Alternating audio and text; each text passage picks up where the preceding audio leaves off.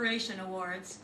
Here is one of your hosts, representing the League of Professional Theater Women, where she is Vice President of Programming, and our co-president, Shellen Lubin.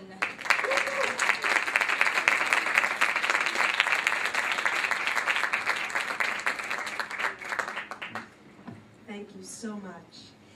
And I would like to introduce my new co-president, who is also our fabulous announcer, representing every year, she's our fabulous announcer, representing SAG AFTRA, where she is national co-chair of the Women's Committee, Leslie Shreve. And we have one more host, the woman who until very recently was co-president of the coalition with Shellen, and still is my wonderful SAG AFTRA local women's committee chair, Avis Boone.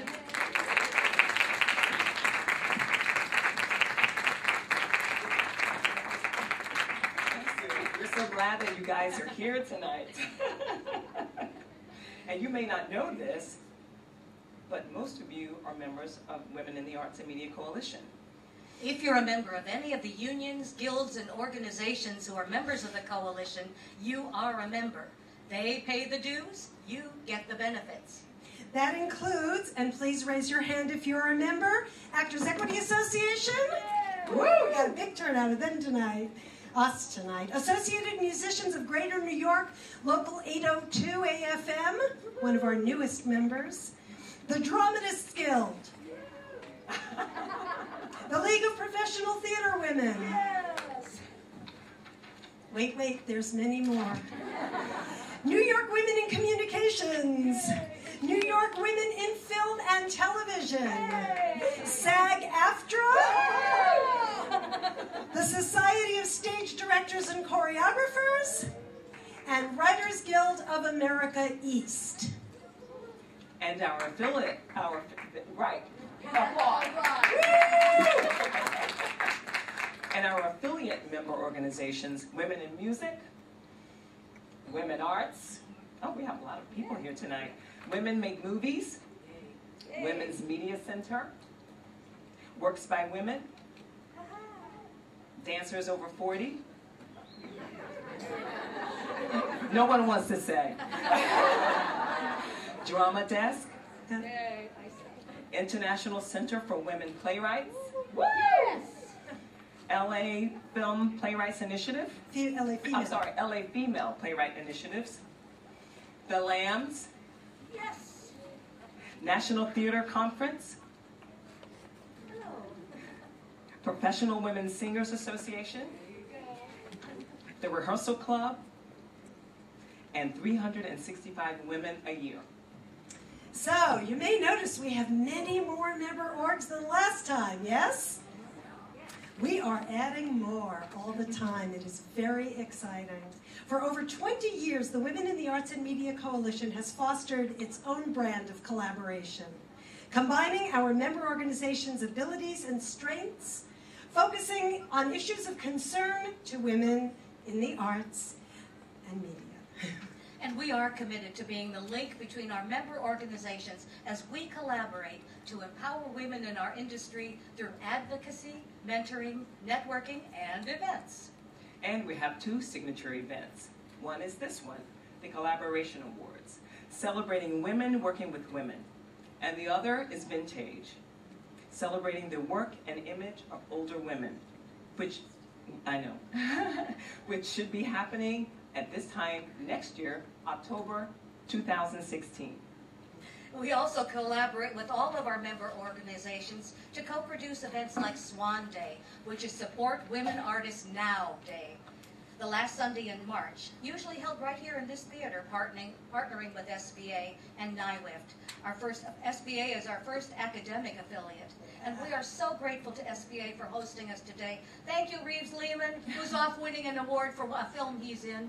Thank you also, Jess Jackson, Vidya Ka- Alexandra, and the whole staff here. You've been fabulous. They are Absolutely. fabulous. From ageism to gender bias to working in new media, the coalition networks and connects individuals and entire organizations to share information, to sponsor events, and to facilitate actions that nurture the voices and visions of women. The coalition has grown so much in the last few years, especially online. Don't know if you've been to our website recently, but our website is one of the most important things we now offer you. On our website, you'll find our, find our blog and communal calendar full of events and info from all of our organizations and more, including events that are live streamed online and can be seen by anyone, anywhere, like this one, which is right now on HowlRound TV. Thank you so much, Thank so HowlRound, much. for live streaming this tonight. And you'll also find our stage ops and screen ops newsletters full of submission opportunities in theater and film and video pr- produced with the support of Women Arts and the League of Professional Theater Women. And our newest page links to gender parity studies across the country and around the world. Studies of women's representation in theater, film, and television, curated by the LA Female Playwrights Initiative. We have many thank yous in the program, so please read them. But we want to acknowledge especially the wonderful women who run our organization. So, with the current board of organization representatives of the coalition, please stand up and be acknowledged. We love you all.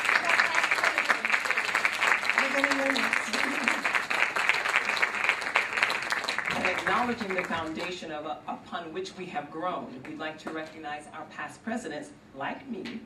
Will you please stand up? The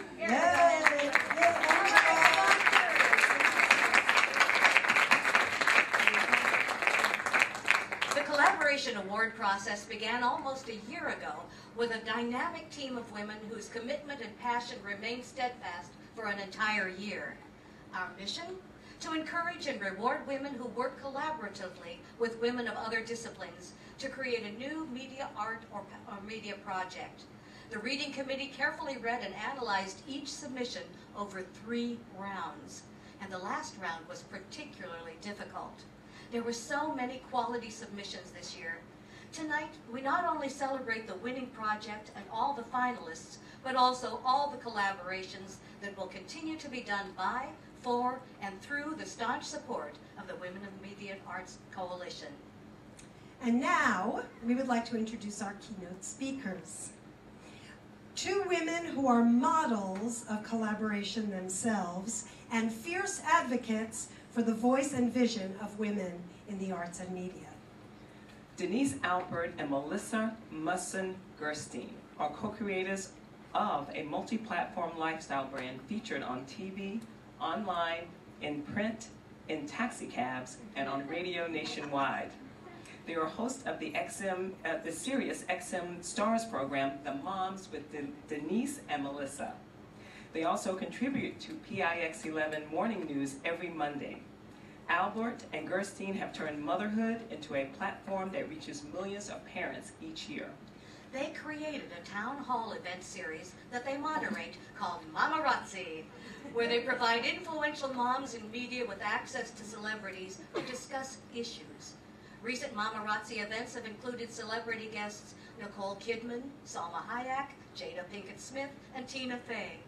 They regularly partner with film distributors, book publishers, and celebrity publicists to present engaging and informative conversations. Denise Albert and Melissa Gerstein. The Moms!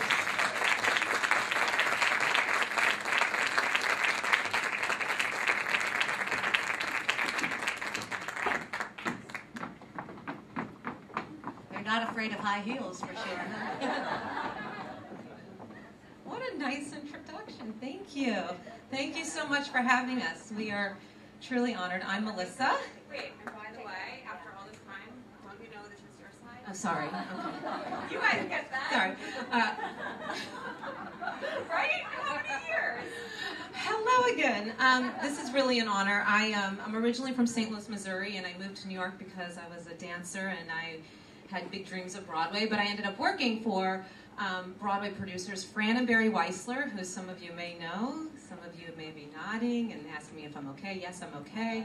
Um, and it was a wonderful experience, but that led me into film and to television. And then I met this one, Denise, and you can take it away from there. Um, and my background is I am from New York. You probably can guess that as well. Keep listening. Um, um, my career was really in television um, and journalism, and I started working in television when I was 14 and wound up as a senior producer at Good Morning America.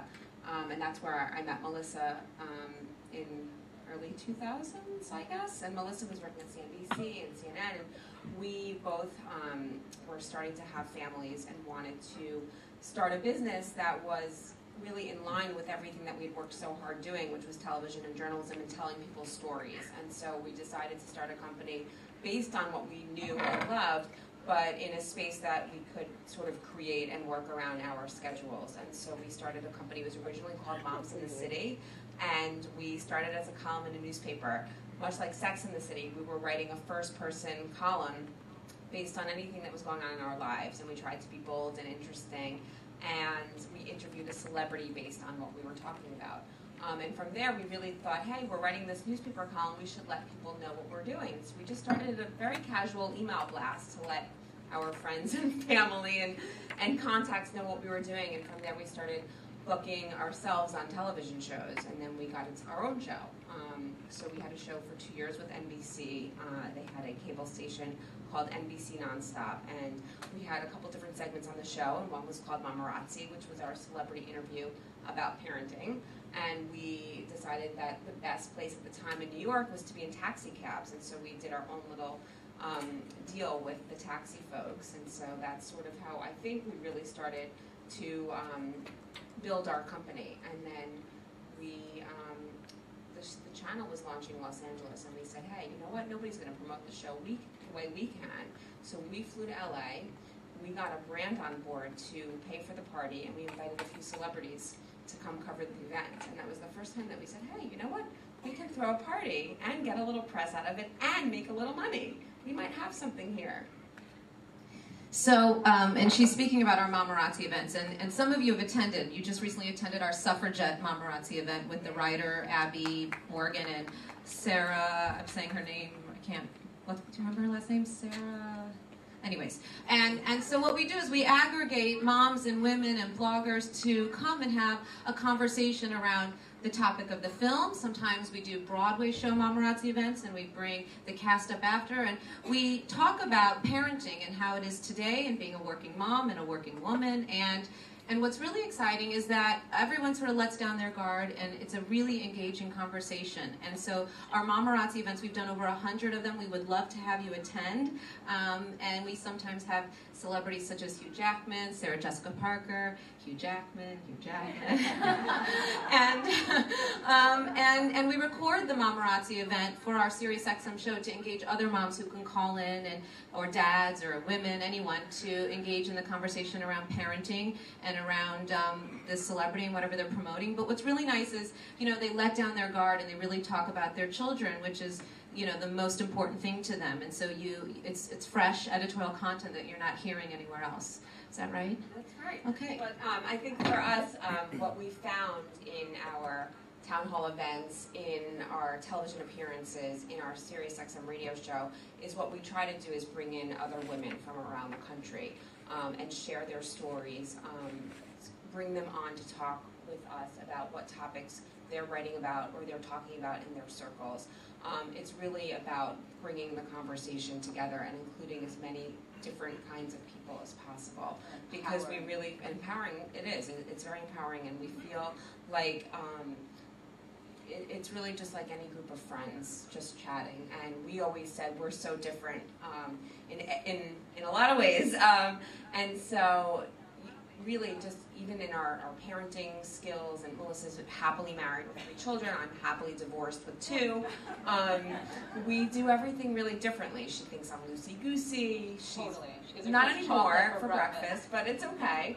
Um, but everything, you know, we always felt like we could really learn from each other, and you might like something that I have to say, you might hate something I have to say, but the next thing that comes out of my mouth, you might say, oh, I can relate to that. And so that's what we try to do in all of our conversations, and that's what we try to do on our radio show, um, is really engage other, not just moms, dads too, in the conversation. And when we go on Pix 11, we, we also bring other moms in the tri-state area on with us who might be trying to raise awareness to something that they're doing. So we really do like to share everyone's stories.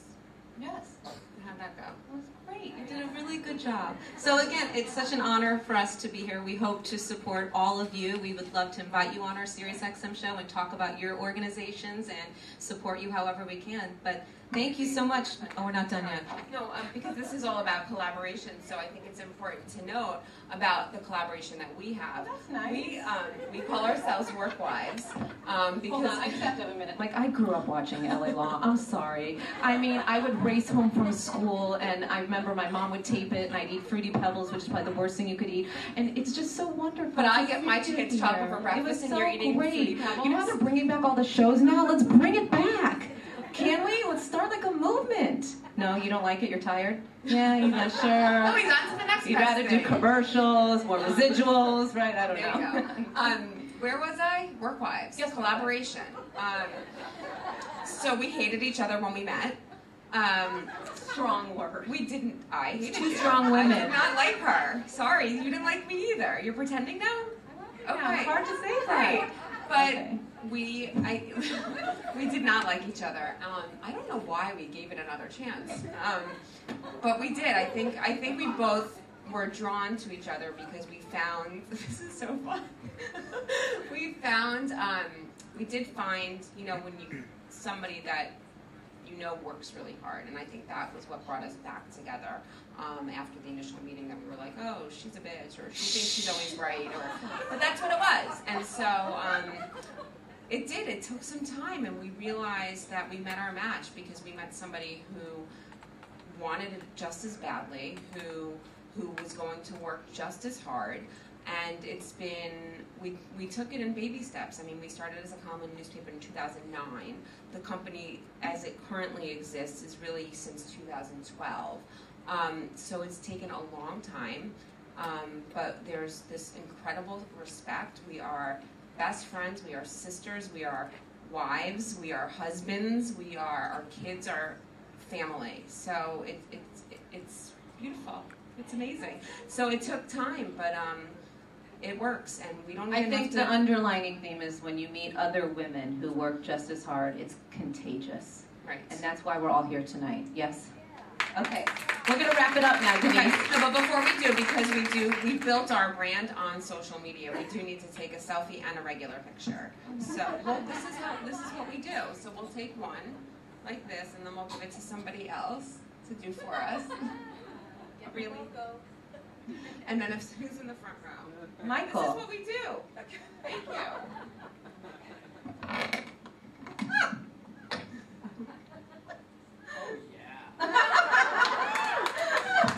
Thank you so much for having us. We're really honored. Very, very honored. Thank you. Mamarazzi.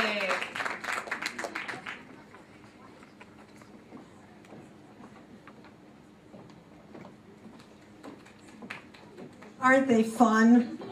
Thank you so much, guys. And their events are that much fun too. Though I will say we all cried through Suffragette, but the event was great fun. And you should definitely get on their mailing list. Yes. Oh, sorry. Moms at the moms.com. Really hard to remember. Moms at the moms.com. Okay, the two women who really made tonight happen, and it took a long time, it took a year to do it. The co chairs of the Collaboration Awards Committee are another example of outstanding collaboration. Want to ask the two of you to come out here now. Please give them a big hand. Representing the Dramatists Guild, Holly Harms. And representing Actors Equity Association, Brenda Gardner. And you two can now get ready to hand out all the awards and certificates. And now, our award presenters. Casey McLain has worked as technical director for Dixon Place and is the production coordinator and resident lighting designer for Concrete Temple Theater, where she has worked off Broadway and toured internationally, get this, to India, Sri Lanka, Turkey, Italy, and Bulgaria. Casey currently works as operations manager for Samuel French. Amy Rose Marsh began working for Samuel, Samuel French as a literary intern and was quickly promoted to associate editor. During her time as editor, she was responsible for bringing more than 400 new acting editions into print, including new works by Sarah Ruhl and Theresa Rebeck. She is currently the literary director of Samuel French, where she oversees licensing and acquisitions.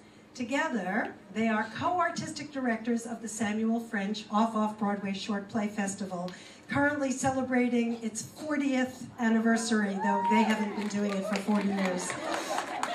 to present the 2015 Collaboration Award, Casey McLain and Amy Rose Marsh.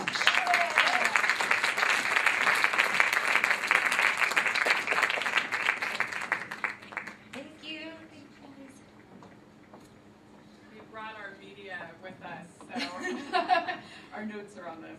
Um, so first of all, on behalf of Samuel French Incorporated and French Off Off Broadway Short Play Festival, um, Amy and I are so honored and humbled to be asked to be presenters tonight. This is truly an honor, and we want to thank Women in the Arts and Media Coalition for inviting us.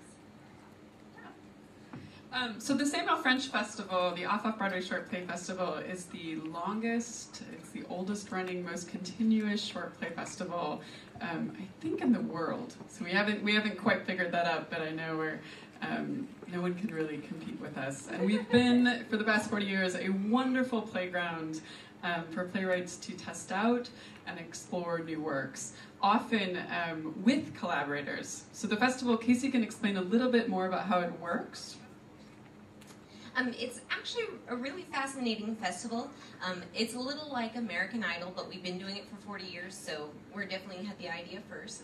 Um, so we open up submissions um, sometime between December and March, and we collect as many short play festival or short plays as possible. They have to be 30 minutes or less.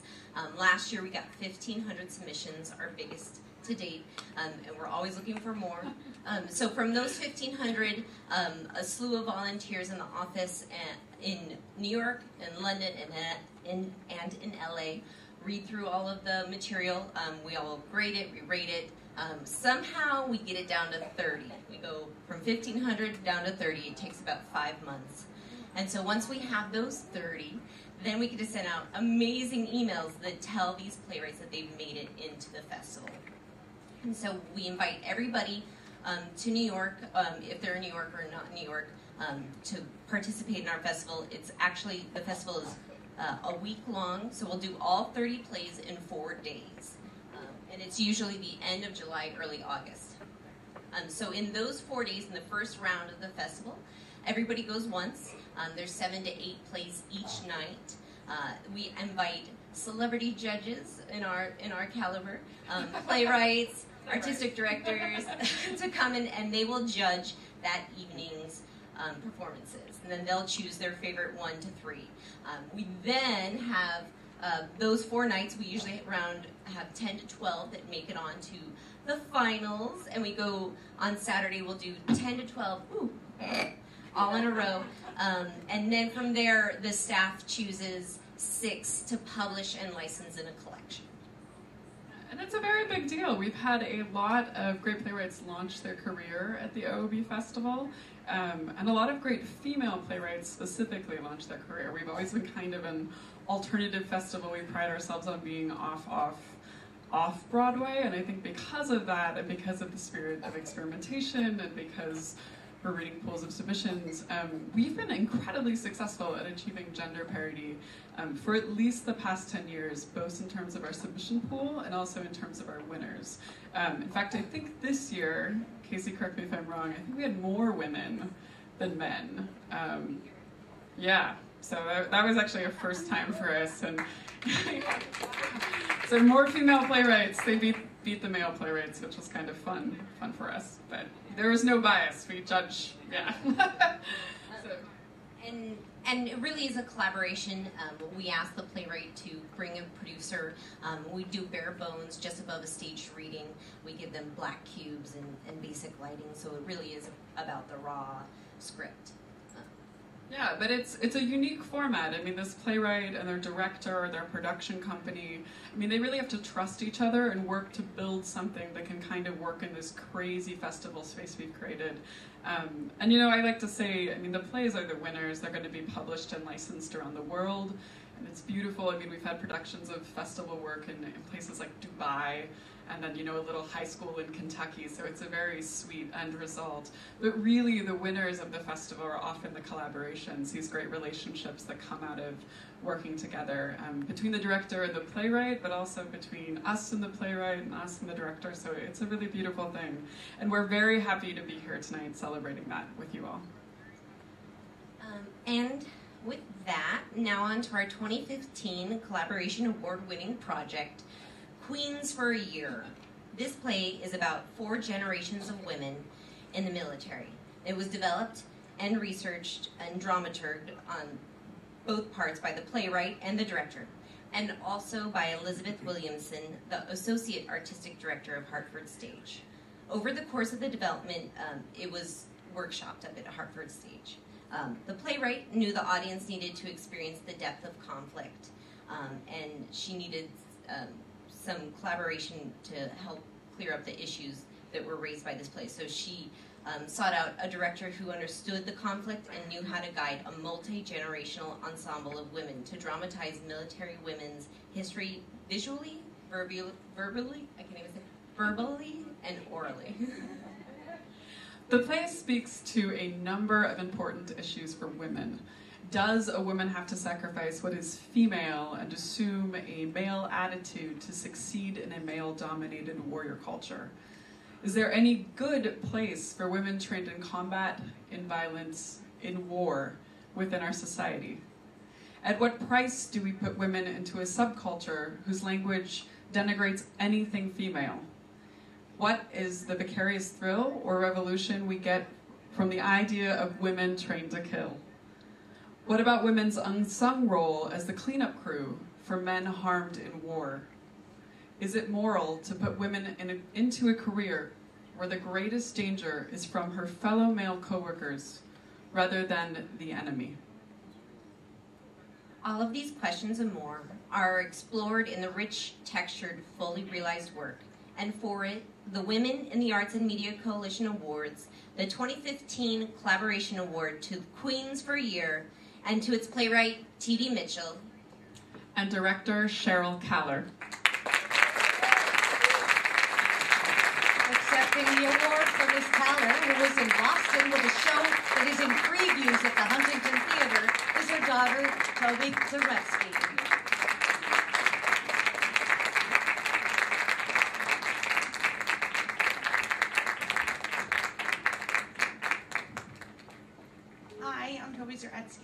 I'm here to accept this honor for my mom, Sheryl Kaller. As they said, she's in Boston right now working with another female playwright. Uh, so I'm going to read her speech. T.D. Mitchell has given a voice to a community of women that needs to be heard and poses a plethora of questions about what it means to be a woman in the military and at what sacrifice. As importantly, she has illuminated this magnificent multi generational female family and their bond with such grace, humility, emotion, honor, intelligence, power, and integrity. TD shows up every single day setting the bar for being the best you can be. She's incredibly kind and caring, but never mistake her kindness for weakness. She is a strong, brilliant woman who can listen with as much strength as she can speak. This has and continues to be one of the most enriching collaborations of my mom's career. She is beyond disappointed that she can't be here, yet she feels like it is beyond appropriate to me to have her here, uh, to have me here in her place. Sorry. She strives to set an example for me and my sister Tess and to be an amazing woman in an amazing room with amazing women. She feels it's her obligation to celebrate and support and give opportunity to all the females within her community. She's honored and humbled to be celebrated by all of you. And thanks you and TD from the bottom of her heart. Thanks. And now, playwright T.D. Mitchell.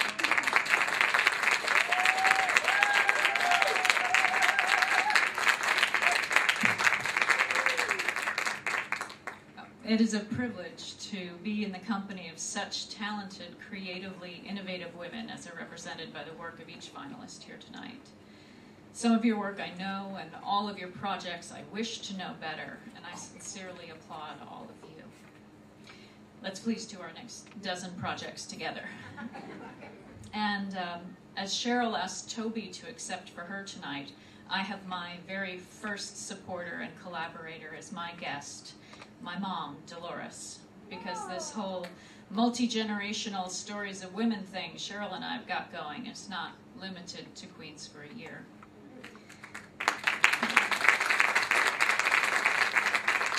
So, con- collaboration. Unlike in television, playwriting is not writing by committee, a challenging endeavor in its own right, but utterly unlike what I do as a playwright.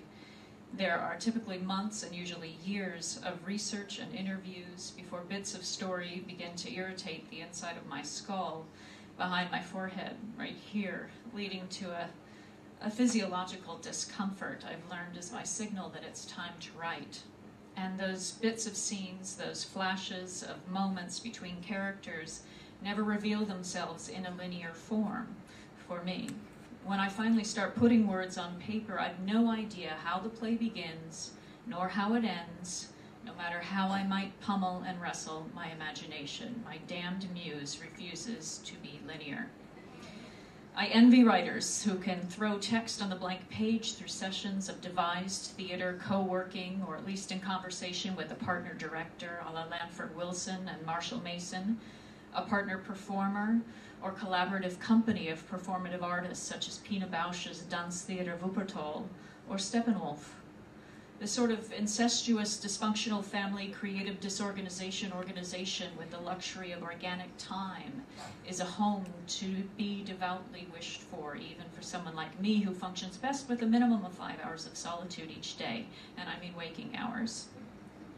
And when the brilliant dramaturg and associate artistic director at Hartford Stage, Elizabeth Williamson, asked me if there was a director I especially wanted to work with for last spring's development workshop, I immediately said Sheryl Kaller. Now, I didn't yet know if Sheryl and I would prove effective collaborators. At least 90% of the work I do as a writer is bled out in solitude, and another 2% done in the company of female writer friends, some of whom are here tonight, over too much wine as I lament about how I've bitten off more than I could chew and I'm just a big fraud and I can't really write. And this happens with every play, it's just not just this one. And they talk me down and pick me up, and well, that's, that's collaborative in its way.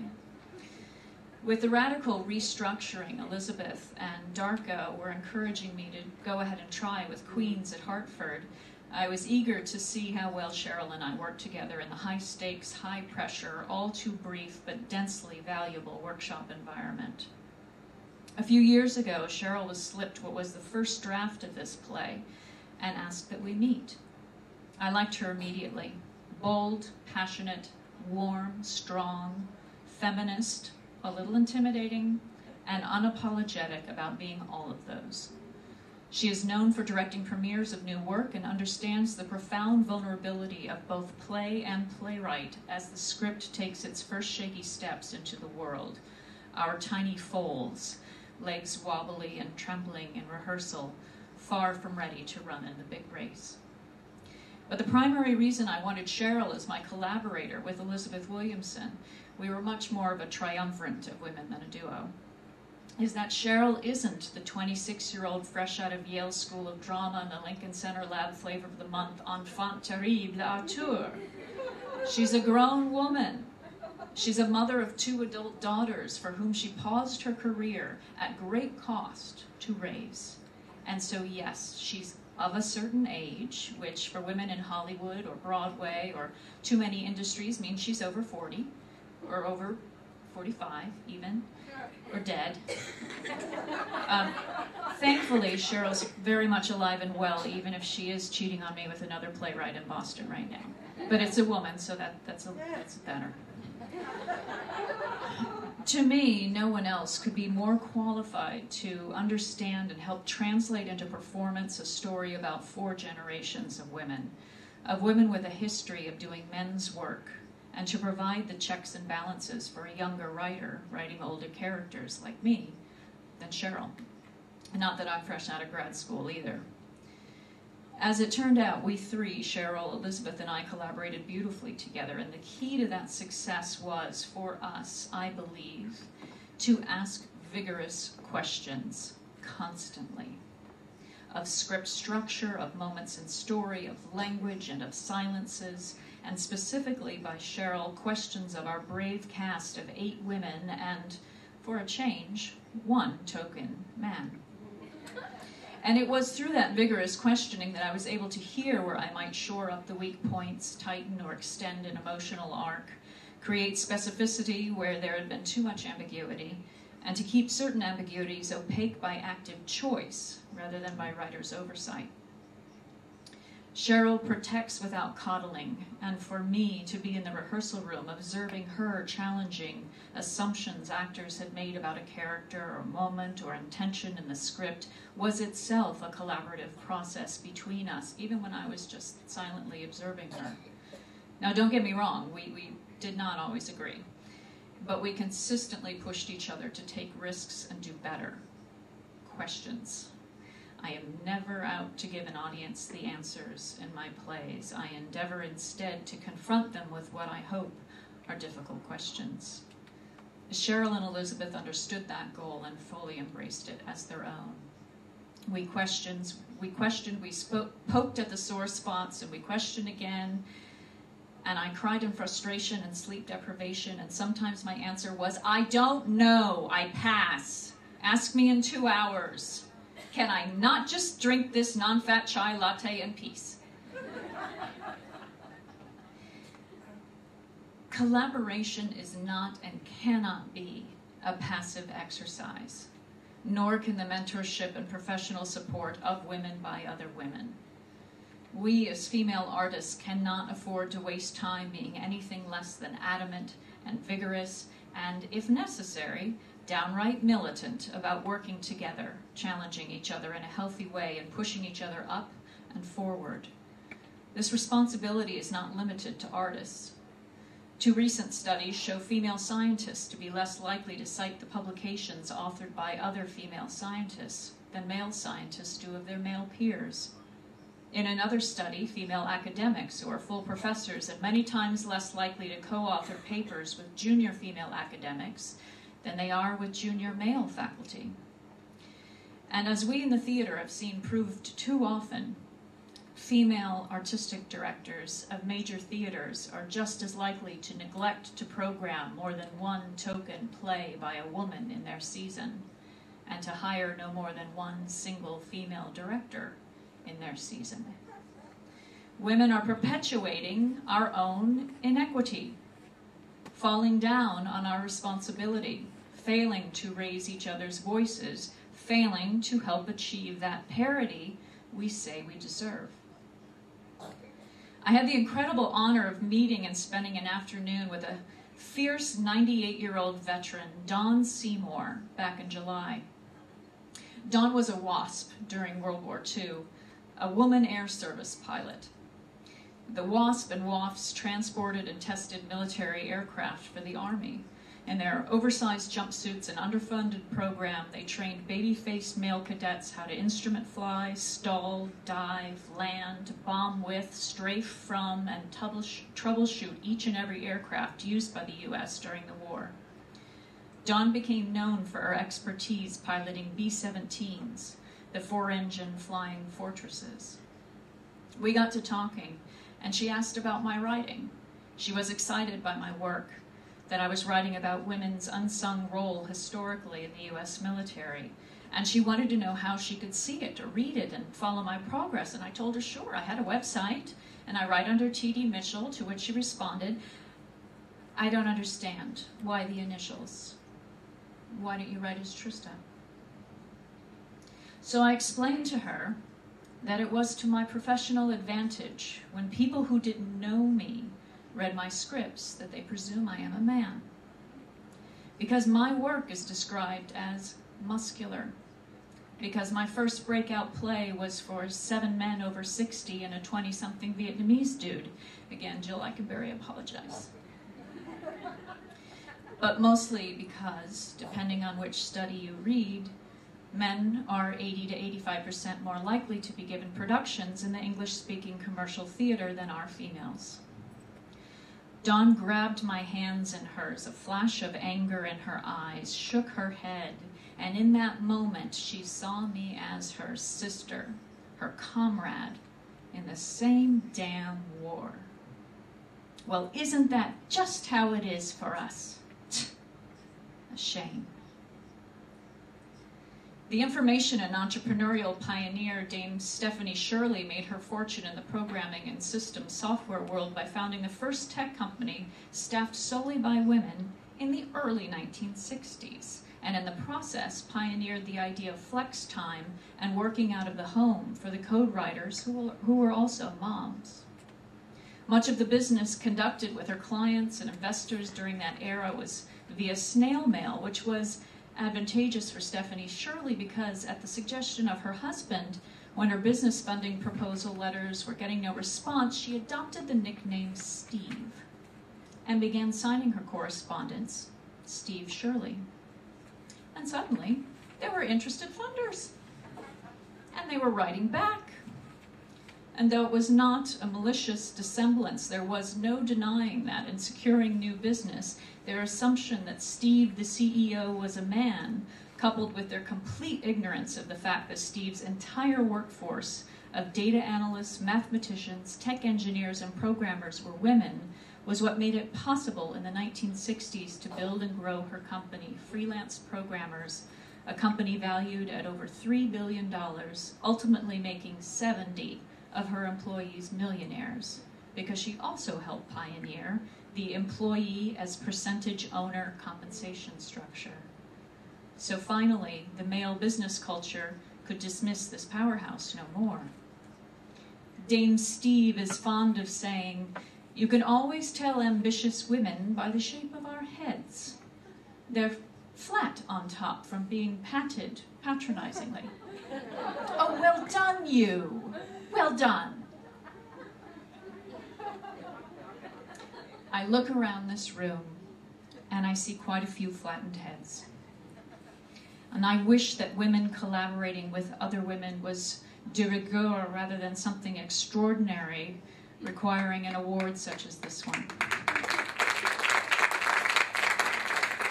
I think about meeting Dawn Seymour, and though I am deeply flattered by being thought of a sister to a woman I regard as a heroine, I am embarrassed that, at 98, we have not done better by her through greater advancement in the status of women in our varied professions. For women to continue to regard each other as competitors and adversaries is counterproductive and ultimately self defeating. There is no time to waste, no time for passivity or polite acquiescence. The time for this work together, this vigorous collaboration, is not just now, it was 70 years ago. So please, let's get on with the work.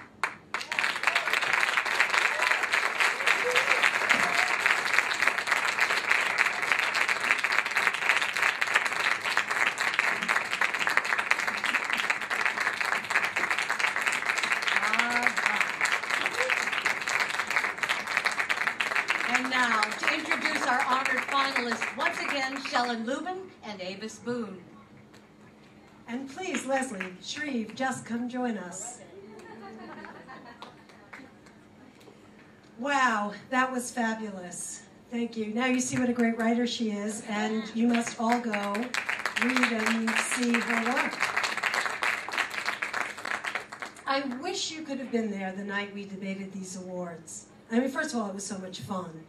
Uh, but also, these next three projects that you're going to hear about had such an equivalent amount of support and admiration from the reading team that instead of doing what we usually do, which is tiering them, we decided to just have three equal honored finalist teams. The quality of the work that is submitted to us is one of the great joys of having the Collaboration Award. The other is hearing from these women how they work together. So we want to give each pair of collaborators or just a few minutes to tell you a little about a little bit about their collaborative process. The first one is Yellow Card, Red Card, which is based on the real life stories of the girls in Breaking Ground Football, a girls' soccer program in Ngaoundéré, Cameroon, which is predominantly Muslim. It was a shot in the dark getting families to let girls out of the home to join the team and not knowing what the long term effects might be of the program. The piece's structure mirrors that of a soccer match on the field, the girls perform the physical work of drills and exercises while they test the limits of their abilities and their expectations. At home, the girls perform the housework of preparing meals while under the unilateral authority of their husbands and fathers. The scenes that occur on the field are comprised of athletic movement that occurs simultaneously with the dialogue. By the end of the play, the scenes move fluidly between on and off the field, and for a few minutes, it seems the girls' on and off field selves have coalesced as much as they possibly can. For honored finalist Yellow Card, Red Card, director Tamilla Woodard, who is in Cuba tonight with TCG, so can't be here, and playwright Melisa Tien.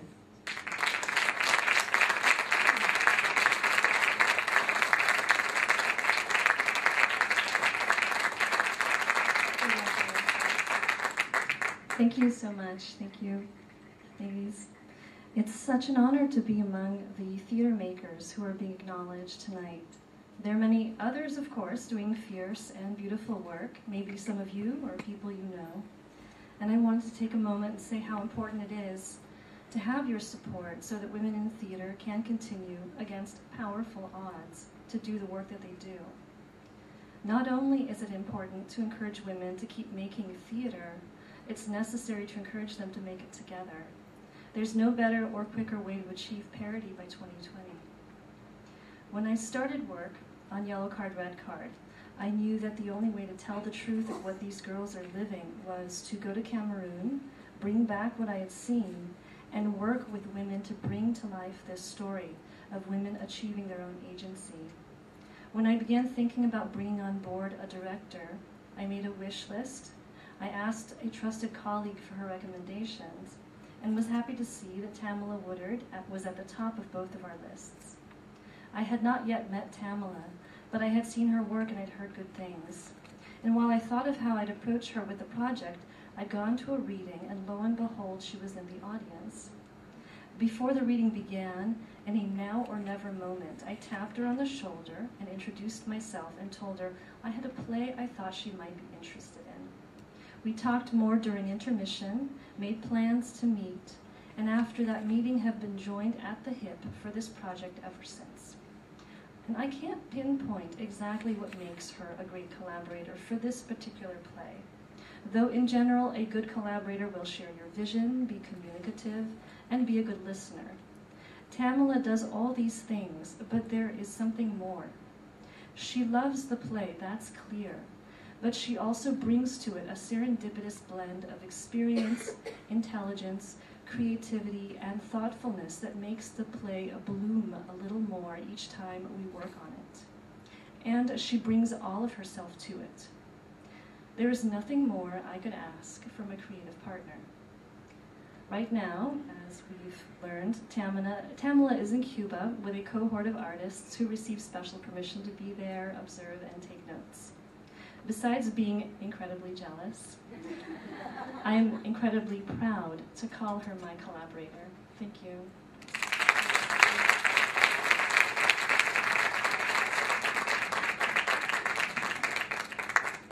South Street Annie is inspired by the life of Gloria Wasserman, the profane mother of the Fulton Fish Market, and later East 4th Street. She spent decades selling newspapers, cigarettes, and herself to the fishmongers on South Street until the fish market moved to the Bronx. Then she took up residence on the steps of KGB Bar and became a storytelling, dirty joke telling fixture until her death in 2010. At the same time she lived as Annie on the streets, however, she raised a family and was putting her granddaughter through college. Set in and around the Fulton Fish Market's final days downtown, South Street Annie is a time-spinning tale of fish, loss, sex, architecture, and the ghosts of New York City with music. For honored finalist South Street Annie, playwright Carson Kreitzer, who can't be with us tonight, so she'll be represented by Carolyn Baumler and director Elyse S. Singer. Come on up, ladies.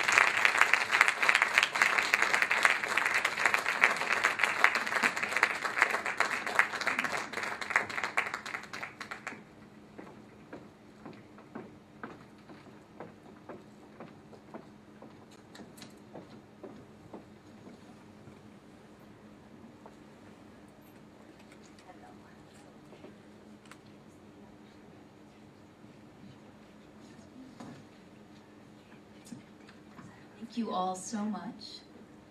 And congratulations to the other finalists and winners.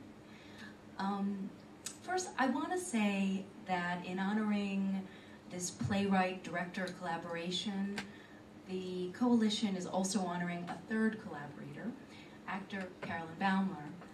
Um, for more than two decades, uh, I have worked with Carolyn on original plays, many of which were created specifically for her. Um, and South Street Annie was initially conceived with her in mind. Um, Carson and I have known each other since the 80s and had never worked together. And Carolyn had worked with Carson a number of times, and Carolyn and I have worked together, founded a company, and uh, and this project is born of that three-way collaboration. Um, and we also had envisioned the extraordinary Lynn Cohen, who is with us here today, um, for the project from the outset, and have been just honored to be working with her as another collaborator, as a central collaborator on the piece for the past year. And the second thing I wanted to say was that South Street Annie is still very much a work in progress. And I feel that my collaboration with Carson is still a work in progress. Um, during the uh, New Georges Audrey residency that we were fortunate to receive this past year, um, our focus was really on the text and the sonic landscape of the piece, but there's still so much to explore uh, of the, the world of the play um, as we continue to collaborate, finding the shape and the scope piece, its vocabulary, its dramaturgy, how to tell Annie's extraordinary story most effectively and most dramatically. So thank you so much.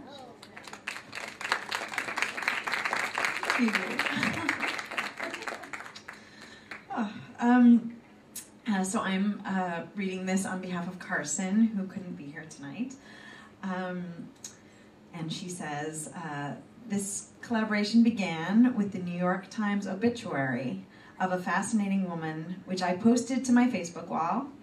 Elyse commented, maybe this should be our project, something we've been talking about for years.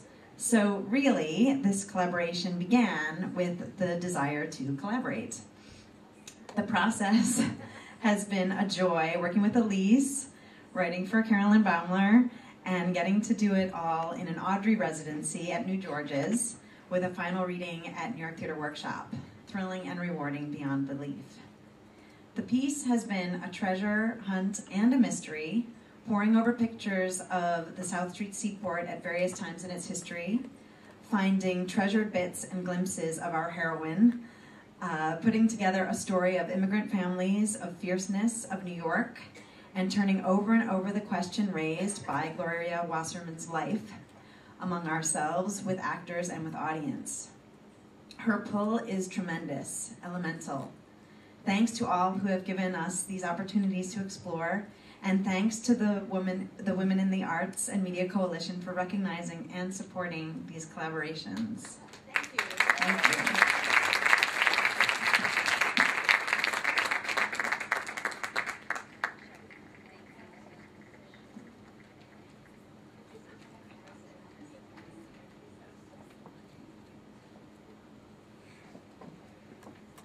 Fold Matters is a collaborative, site-specific performance with film and dance about the work of doing laundry.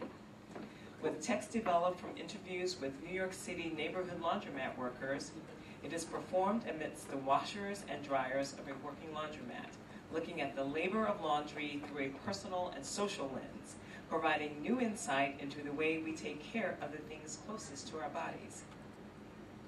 Stories about intimacy, clothes, dirt, stains, money, and time are revealed through heightened dialogue and gestural choreographed sequences. This piece also provides an opening into a historic form of domestic work, which is often unseen, tended to, tended to be done by those who go unrecognized and undervalued. For honored finalists, Every Fold Matters, playwright, director Lizzie Olesker, and filmmaker writer Lynne Sachs.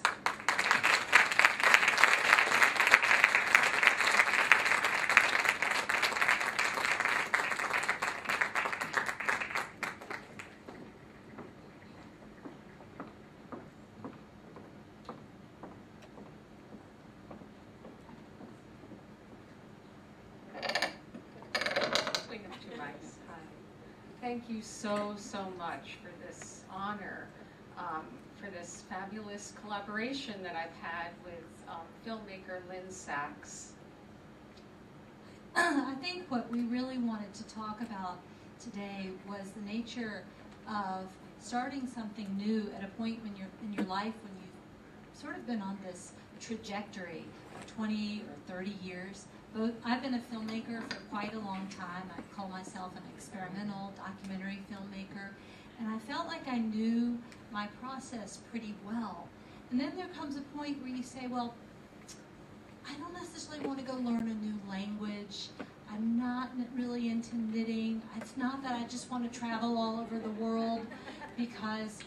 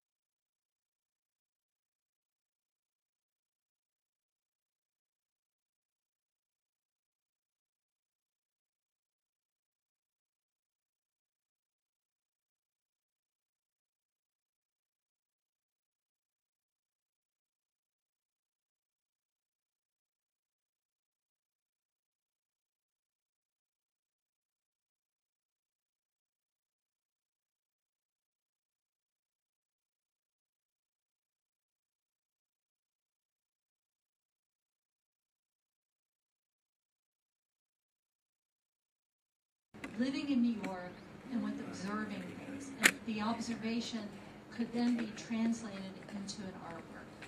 So um, I'll let Lizzie tell you a little more about how that all got started. Um, this project began, um, I was commissioned to do a piece, a performance piece in a working laundromat through an organization called Loads of Prose. Um, and, and um, dirty laundry readings uh, done by Emily Rubin, who in fact was sort of another collaborator with us as a producer. And um, I did a, a, a, piece with three performers where we gathered stories about doing laundry.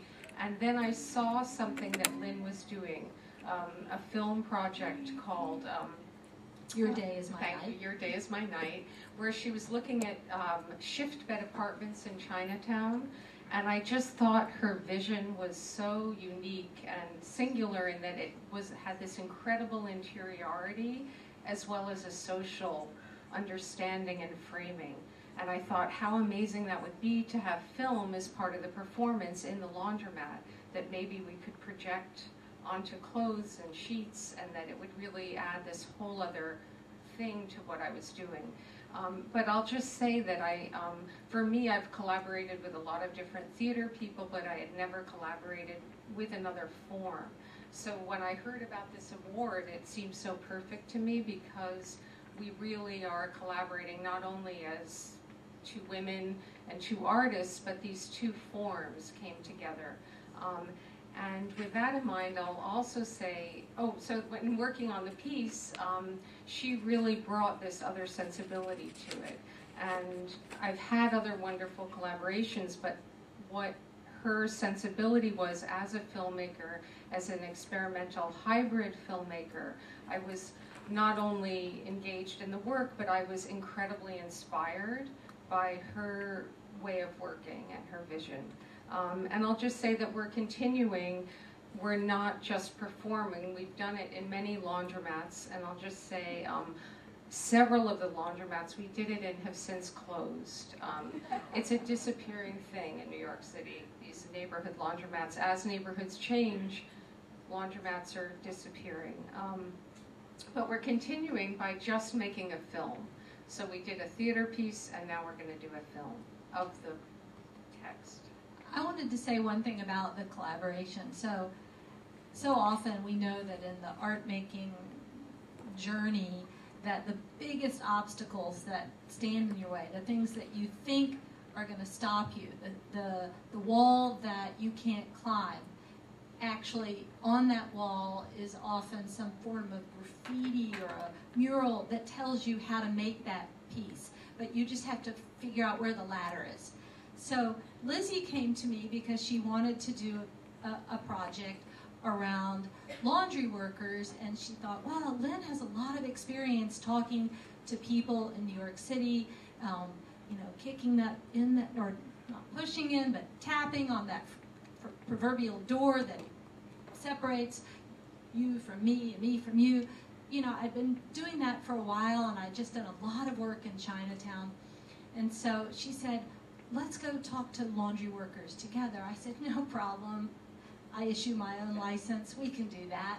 So we spent a year making appointments with laundry workers, and we would get there for our date, you know, for our interview, and I would have my tape recorder, and every single time they'd say, turn off the tape recorder, my boss won't let me talk to you, my husband won't let me talk to you, I don't have my documentation, I don't want to be on camera, I don't even want to you know, tell you my name. We'd say, okay, let's sit on the bench outside. We won't even ask you what your name is. We just want to talk to you. And then what happens, a filmmaker who had that happen would say, uh-oh, I can't make this film. But a playwright can say, well, we'll just write it. We heard all of this. We'll create, we'll create composites. And so I'll, I'll just, I'll, we'll end. We have to stop. But um, so thank you again. And I just want to say that the play and the film come out of that silence and what people were unable to say, but that eventually we did speak to them and that it came from that. But again, thank you so much. Thank you.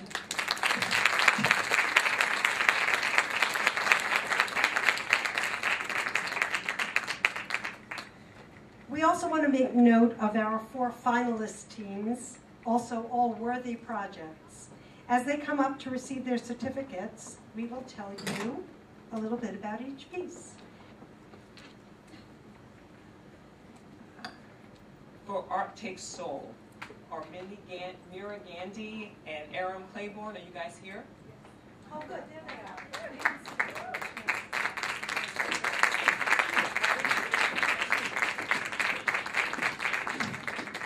African American artist Mira Gandhi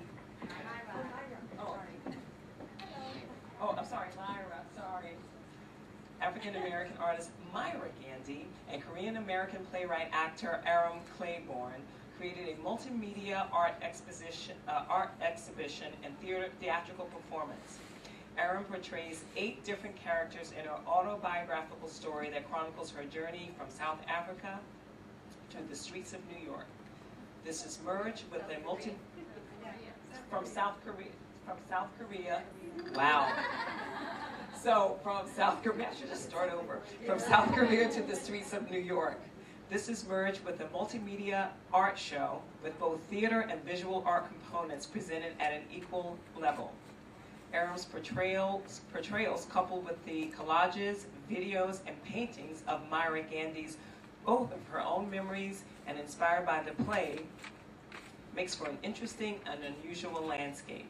The pieces bring brings together the 1980s hip hop era, immigrant stories, pop culture, pop culture visuals, and New York.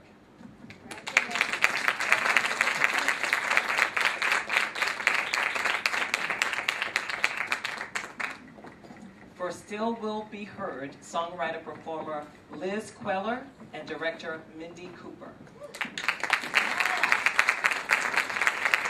Now, Still Will Be Heard is a performance piece marrying contemporary American folk and roots music to the poetry of Edna St. Vincent Millay. The score presents a new take on both the traditional song cycle and the poetry itself. A multi- multimedia piece, Still Will Be Heard, explores the power of words lost and found, and the power of art to heal and communicate. Unique in its structure with monologues, songs, letters, and poetry woven together with video images and stage tableaus, bringing deeper meaning to the poetry that serves as the common thread.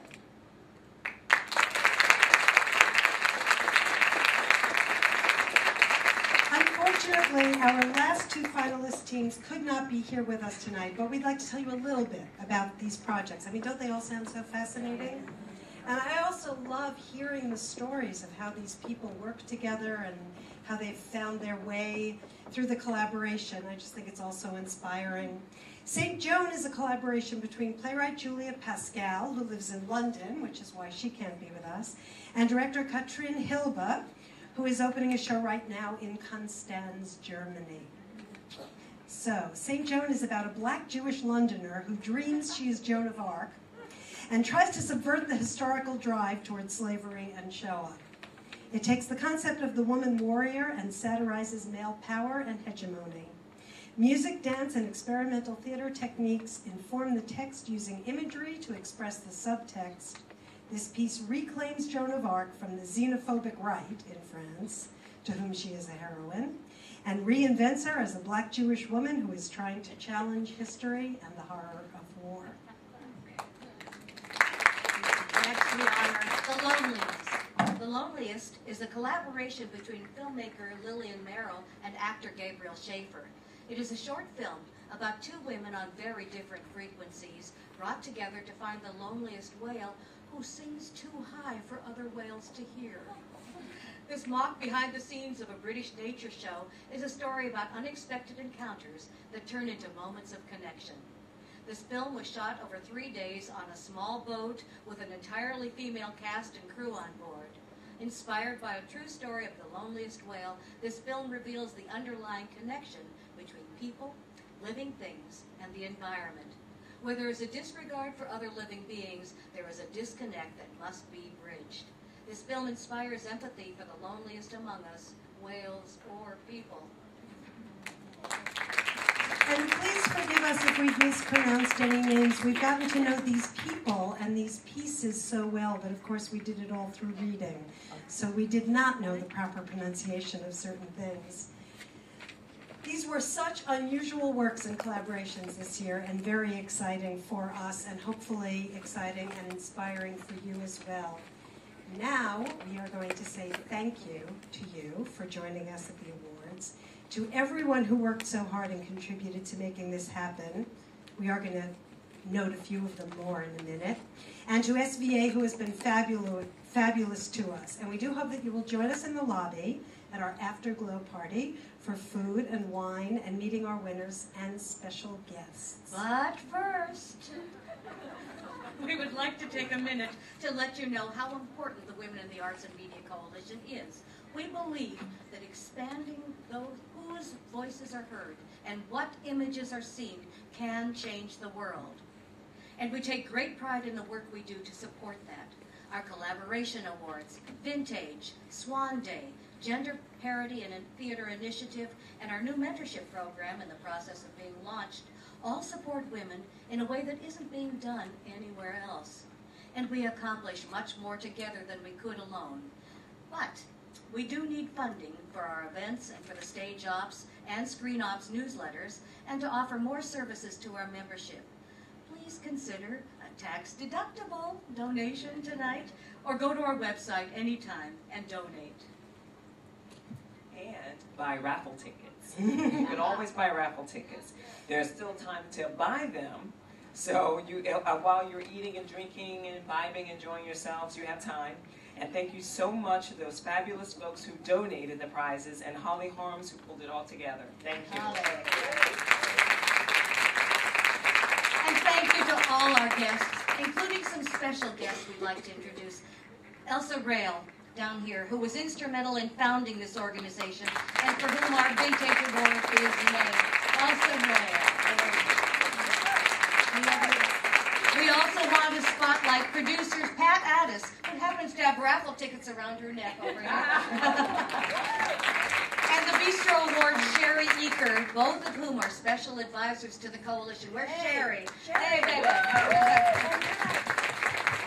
And Becky Curran from the SAG AFTRA Diversity Department. Here she is. And the paparazzi to the mamarazzi, Michael Tucker. Thank you for being here. and our own Jill Eikenberry. And thank you to all our honorees. You prove how much beautiful work and organic change women can generate together. And we hope you had a good time here tonight. We did. And uh, so we, we hope each one of you guys did. And uh, if you want to learn more about our member orgs and the coalition itself, hopefully you want to. We, can accomplish even more if we had the help of each and every one of you here.